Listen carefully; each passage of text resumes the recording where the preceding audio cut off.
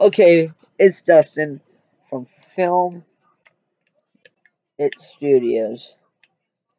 And I'm back at it with a brand new video for you guys. I will be honest, I was. This is my second run through. I didn't hit the record button, I was just talking to the camera. I'm going to be talking. Sorry. I'm Dustin from Film It Studios, and I'm back at it again with a brand new video for you guys. Today, I'm going to be talking about my top three games, games that I fell in love with, games that were just simply amazing, that I spent many hours in. It was hard to put it down. Oh, sorry, allergies, my nose is stuffy. It was hard to put it down to one exact or three exact games, but I did. First game we are going to talk about Borderlands 2. When Borderlands 2 came out, I had no idea what Borderlands was. I'd never heard of the series. I didn't know what it was. I'm I've just heard a few people from school talk about it.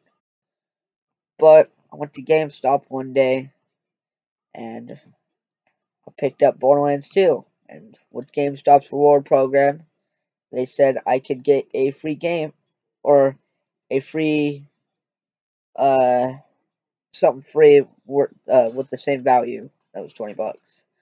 And I picked up Borderlands 1, so luckily I walked out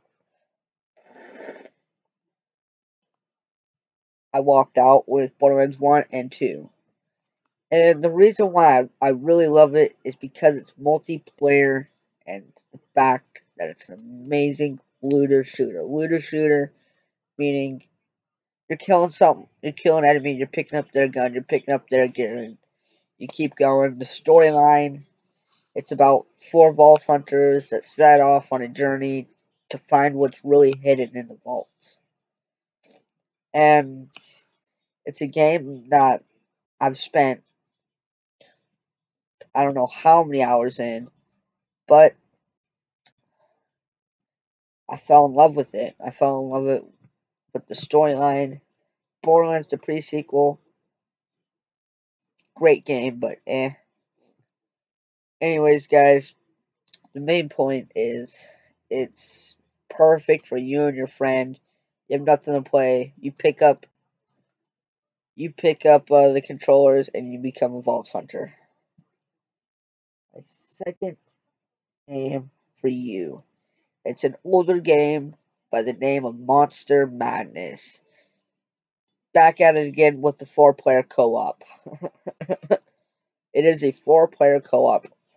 It's about four characters Zach, Andy, and two girls one goth, one cheerleader. And they set off across, they set off on a journey to find out what's what caused the zombie outbreak.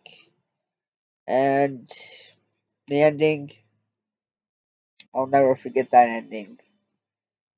But I, it was another game where I went over to a friend's house.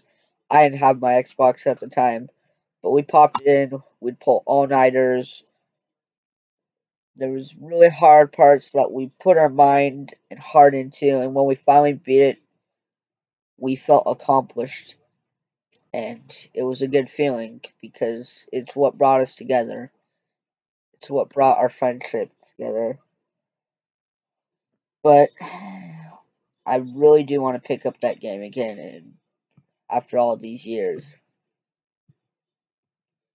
You guys can see broken Rubik's Cube right there. But Monster Madness, I would rate that game a 10 out of 10 because it brings your friends together. Oh, it brought my friends together. And we all worked together for one thing, and that was Monster Madness. Okay. Sorry, my nose is kind of stuffy. Game number three. It's kind of a mainstream game. Black Ops 2. Now, the reason why I really like Black Ops 2 is because it was one of the first games I had my, for my 360. But I wanted to be in like FaZe, OpTiC, all that shit. I wanted to hit trick shots. Then, sad day, my friend invited me to another gaming party where I packed up my Xbox. Brought it over to his house. He had his PS3. More friends came over. And I forgot to take out the Black Ops 2 disc when I packed it up.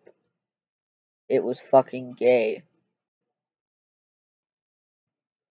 And the reason why I like Black Ops 2, sorry, I just went really dark right there. Come on, focus, you slut.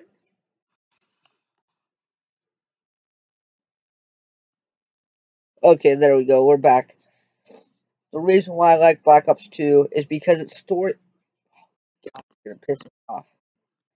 Its storyline was good, but its multiplayer was the best at its at the time. The multiplayer, I remember my favorite map, Hijacked.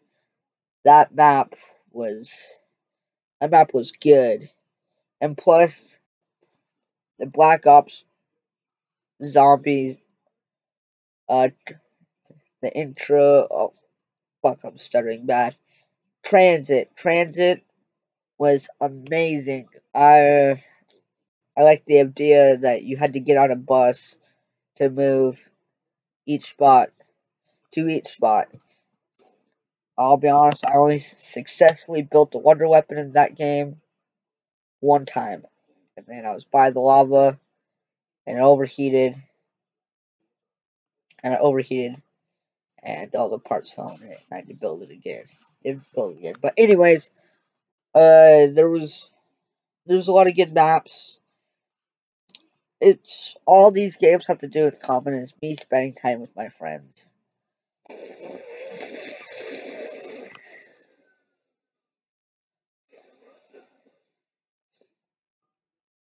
Oh, disgusting. But they all have to do with common because hanging out with my friends that really gave me it. That really helped me with the list. What games I connected with my friends, what we had the most time with, and what games I liked overall. Other game, there are lots of other games I could pick. Like, I have all those games I'm in love with. I like almost every game over there. Madden. I'm a huge Madden fan. The uh, Saints Row. Saints Row 4 is absolutely amazing. Uh, games like NBA. I'm a sports fan. But those are a few other series that were close. So, to wrap it up, Monster Madness, Borderlands 2, Black Ops 2. Those were the three games that I enjoyed on the Xbox 360 the most. I know there are tons of great games out there, tons of great games. You could disagree with every single one I've said, but I don't give a fuck because these this was my list. These were the games that I thought were fucking awesome. Anyways, guys, don't forget to subscribe for more content.